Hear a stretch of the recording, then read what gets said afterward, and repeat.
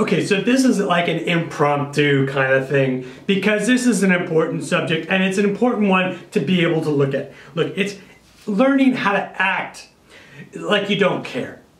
You know, th this is an element that actually can help your acting incredibly, incredibly. Uh, I just finished doing some work here and there.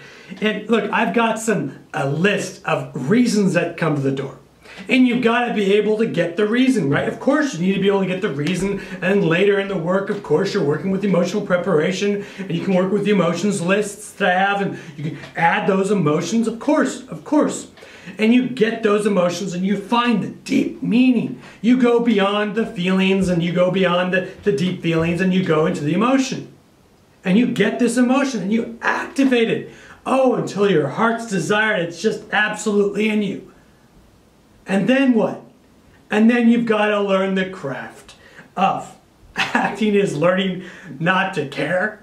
That's exactly what I'm telling you is the absolute truth. It's the truth. You want to do all that work, not to throw it away, but to be able to then act like you don't care about it because you want to be able to be loose enough to be able to receive your acting partner. So I suggest put all that initial mm, gumption that you've put into your work, all that rich emotional life that you've got, and you put it right into the knock the first knock, just put it right in the knock, and then see how that affects you. And then just acting is learning not to care. Then after that, just let the moments go. See how it goes.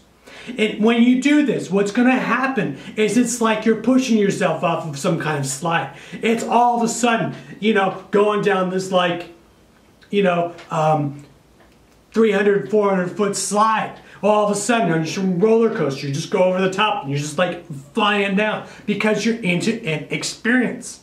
See, you can trust at that point that you've activated yourself because you know that you've activated something. And you can trust that what you've activated is actually now part of your interaction. So now you've got the, the ability to be able to interact in acting because you know that you've successfully been able to activate yourself. So you've self activated your emotion. And you're not just self activating a feeling, you're not just uh, self activating an instinct or some sort of suspicion. You're, you're, you're actually activating an emotion. That's why it's called emotional preparation. There are links in that description that you could actually use to improve your acting. You can help to, it can help you to improve your creativity. So there are, are um, independent activities, there are reasons at the door, there's lists of programs, there's um, lists of emotions, there's programs that you can do, and there's also ways that you can actually contact me for private coaching. So listen, please do yourself a favor and check that out. You know, right down there in the description box. Is with emotions. So, look, you want to be able to do acting to your absolute best, your absolute best. You want to be able to get your talent acting and working for you. Now, if you want to work and have your talent work for you, that doesn't mean that you're working your talent necessarily every single moment of the scene. There's things that are going to have to happen. And if there's going to be things have to happen in your acting, it means you have to have this elusive response. You've got to be able to find your relaxation. So I tell people, I say, look, get yourself wound up emotionally, put it into the knock, then receive your partner. Then if you get into the acting exercise, then just completely relax. See what happens. See what happens. See, you put yourself into a place where you've relaxed, all of a sudden, you relax deeper, and all of a sudden your emotional preparation comes back. All of a sudden the interaction with your partners they're even stronger. Because now we're actually as an audience watching what's called an imaginary circumstance or an imaginary condition. You put yourself into this imaginary condition. You put yourself into this circumstance the imagination is, is now being lived out by impulse to impulse and that's an element that takes relaxation you see what, what you're learning to do is not care you're learning to be able to let go of yourself so that you don't care. But the truth is, you care. But the reality is that you're learning talent. The talent of being able to activate something that you do care about. And then be able to have that be reactivated through the interaction of acting. Because acting, by the way, is interaction. Acting is activation first, which is the being side of the work, and then it's activation, it's interaction, which is the doing side of the work. Now, if you want, you could do the exercises. I've seen many of them where people only work at the doing side of the work and they don't work with the activation, but it's not going to give you the same results. This is why this is so key. So listen, I had a lot of fun doing this stuff. Please make a comment, boop the like button, um, and, and let me know what it is that you need to learn. Because I'll tell you, if you can get the knack, the knack of this, you know, the knack of this is very, very, very, very, very important. When you can get the knack of being able to put what you care about into a lucid state, where you're in a state where you don't exactly know what the outcome's going to be, but you know it matters to you. But at the same time, you're loose enough to receive what is actually the reality also. Then all of a sudden, you're working your talent every single class, every single time, every single, every time. Every time you act, you're working your talent. It's incredible. It's incredible how this works.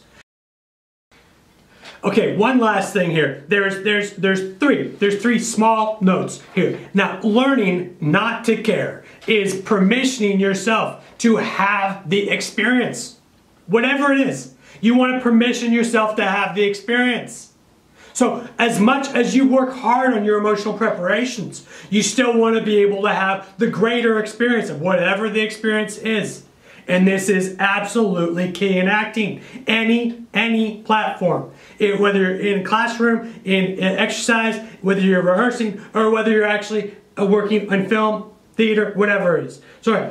Number two is learning to care. No, sorry, learning not to care is the art form of living truthfully in the imaginary. Now I'm going to say that one more time. Learning not to care is the art form of living truthfully in the imaginary. See, it is the art form of relaxation of the actor that puts them in this ability to be able to be responsive under imaginary conditions, which is absolutely key. Number three and last one is learning not to care is finding your own freedom within acting. Learning not to care is finding your freedom within acting. Okay, so I teach people how to get upset. I have a lot of fun teaching people how to literally, purposefully upset themselves. Actually waking their own activations up so that they're emotionally activated. There's something that they can get upset about within a ballpark of emotion. But the key, the absolute key, is I don't want you to carry around that stuff in your life. That's what's called acting baggage. You want to be able to learn a technique. I have to be able to tell you that it would be a disservice for me to teach you all of these incredible techniques on how to access yourself as an artist without reminding you very nicely that you don't need your acting baggage in life.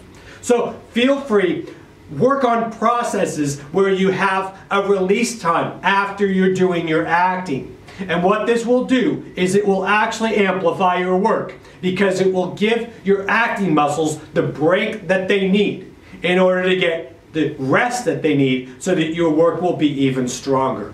Okay? Thanks very much.